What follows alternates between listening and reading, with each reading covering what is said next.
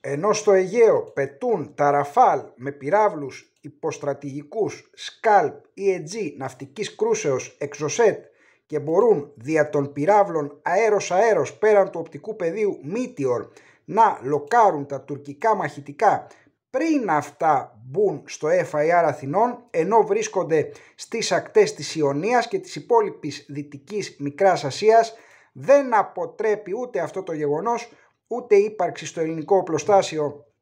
των F-16 Block 52 Plus και Advanced που δεν διαθέτει παρόμοια η Τουρκία ούτε και φυσικά Mirage 2000 Παύλα 5 οι διαθεσιμότητες των οποίων έχουν αυξηθεί σε μεγάλο βαθμό κατακόρυφα έχουν απρόσκοπτη ροή ανταλλακτικών και τα Mirage 2005 που και αυτά φέρουν Skull PAG, Exocet,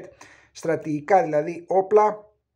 για κρούση και ναυτική κρούση η Τουρκία συνεχίζει παρόλα αυτά γεγονός που μας δείχνει ότι και τα F-16 Viper να επιχειρούν ακόμα και τα F-35 να έρθουν όσο και να μειονεκτεί στον αεροπορικό τομέα σε ποιότητα η Τουρκία σε αριθμούς υπάρχει ισορροπία και φυσικά οι πιλότοι μας γύρουν ακόμα περισσότερο την πλάστιγκα υπέρ της Ελλάδος ενώ οι έμπειροι Τούρκοι πιλότοι πάνω από 300 έχουν φυλακιστεί. Η Τουρκία πρωί πρωί ζεύγος τουρκικών F-16 στις 8.35 υπέρπτυση πάνω από ελληνικό και ευρωπαϊκό έδαφος στο Φαρμακονήσι στις 8.36 πάλι πάνω από ελληνικό και ευρωπαϊκό έδαφος σε λειψούς 8.37 αρκιούς σε ύψος 27.000 ποδών. Το ίδιο ζεύγος έκανε υπέρπτυση πάνω από την Ισίδα Παναγιά και τις Συνούσες στις 8.52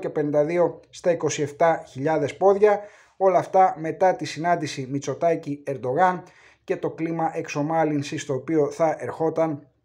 λόγω της ρωσικής εισβολής στην Ουκρανία και της αλλαγής των δεδομένων η οποία υποτίθεται ότι φέρει και ενισχύει τους δεσμούς ανάμεσα στις χώρες μέλη του ΝΑΤΟ. Η Τουρκία, ό,τι και αν συμβεί, φαίνεται ξεκάθαρα, συνεχίζει ακάθεκτη τις προκλήσεις και αυτό δεν έχει καμία σχέση με τη στρατιωτική ισχύ της Τουρκίας. Είναι ξεκάθαρη και απόλυτη η ελληνική υπεροχή στον αεροπορικό τομέα και άποψή μου προσωπική που την εκφράζω διαρκώς από αυτό το κανάλι και σε θάλασσα, βυθό και χερσαίες δυνάμεις